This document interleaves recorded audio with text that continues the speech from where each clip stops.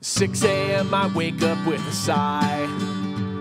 I feel like Bob Costas' left eye. But they're jumping up and down. There's snowfall on the ground. School is closed, the kids are staying home. Before the coffee even gets poured, they're dressed and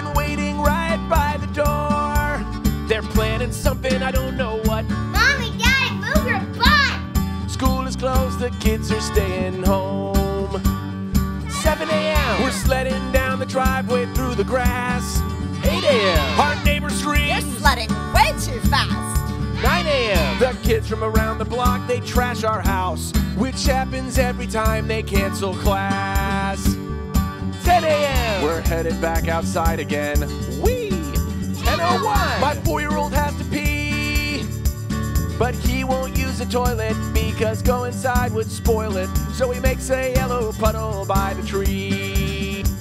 11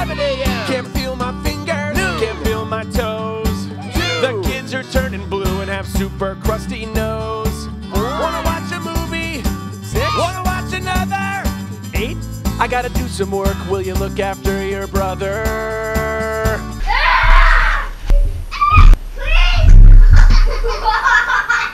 For bread and milk, there's one long line.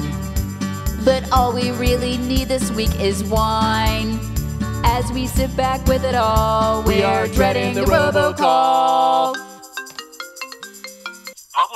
Schools are closed tomorrow. Again.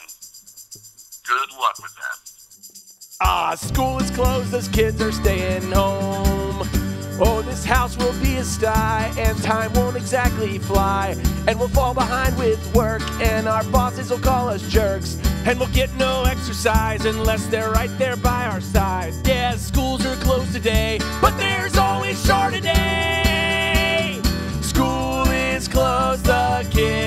are staying home.